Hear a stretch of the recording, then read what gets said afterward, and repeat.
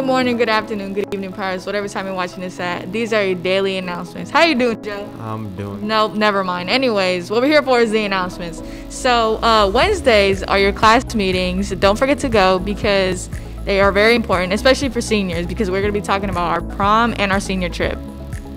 And also, there's activities in the quad, so come and play.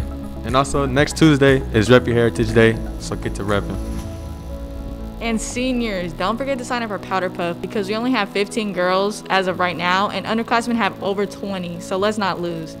And 9th through 11th graders, your practice starts on Thursday after school, so make sure you don't forget. And also, there's an ICC meeting this Thursday, the 23rd, so do not forget all club classes. Deuce. Good morning, Pittsburg Pirates. This is a public announcement to let you guys know that October 6th will be Clean Air Day. You can help make the air we breathe cleaner and safer. Take a pledge to participate by following the URL code posted in the many flyers around school campus. We will be recording your submissions and the grade with the most submissions will win a prize.